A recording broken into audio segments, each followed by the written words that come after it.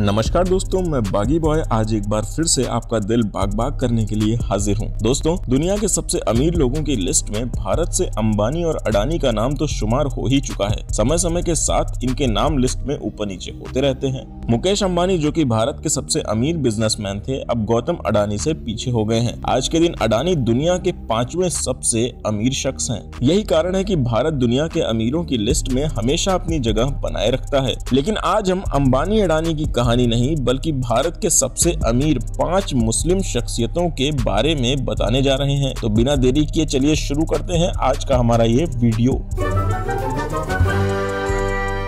दोस्तों, इस लिस्ट में पहला नाम है अजीम हाशिम प्रेमजी का। जी हाँ देश के सबसे अमीर मुस्लिम जो देश के सबसे बड़े दानवीर भी हैं। अजीम प्रेमजी के बारे में बहुत ही कम लोग ऐसे हैं जो ये जानते होंगे कि वो मुस्लिम हैं। अजीम प्रेम जी एक टेक कंपनी विप्रो के मालिक हैं।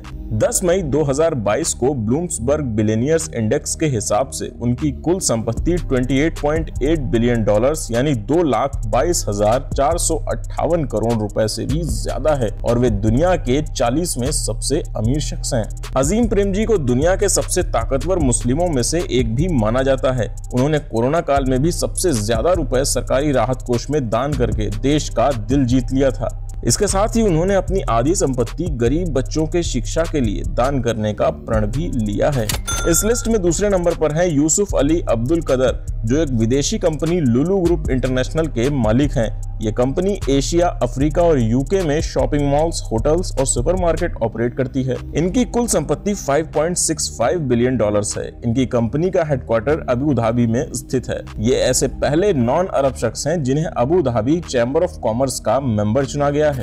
इस सूची में तीसरे नंबर पर है यूसुफ हमीद। जो भारत की सबसे मशहूर दवाई कंपनी सिप्ला के मालिक हैं ये एक टैलेंटेड साइंटिस्ट होने के साथ साथ एक सफल इंडस्ट्रियलिस्ट भी हैं। फोर्ब्स के अनुसार इनकी कुल संपत्ति 2.6 बिलियन डॉलर है सिप्ला की शुरुआत इनके पिता ख्वाजा अब्दुल हमीद, जो गांधी जी के फॉलोअर थे, उनके द्वारा सन 1935 में की गई थी। यूसुफ हमीद जी दुनिया भर में अपनी संपत्ति से नहीं, बल्कि बड़ी बड़ी बीमारियों जैसे कि एड्स की दवाएँ सस्ते में उपलब्ध करवाने के लिए जाने जाते हैं। इसके अलावा कोविड के इलाज में काम आने वाली रेमडेसिविर के सबसे सस्ते जेनेरिक वर्जन को भी इन्होंने तैयार किया है। इस लिस्ट में चौथे नंबर पर है डॉक्टर आज़ाद मुपेन ये एक बड़ी health care company Aster DM health care के मालिक हैं। इनकी शुरुआत दुबई में एक छोटा सा क्लिनिक खोलने से हुई थी और आज ये 18 से ज़्यादा अस्पताल 90 से ज़्यादा क्लिनिक और 200 से ज़्यादा फार्मेसी के मालिक हैं।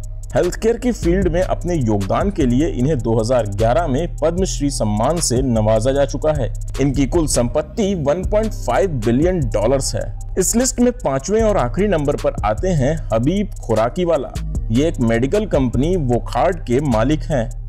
इनकी कुल संपत्ति एक बिलियन डॉलर के आसपास है।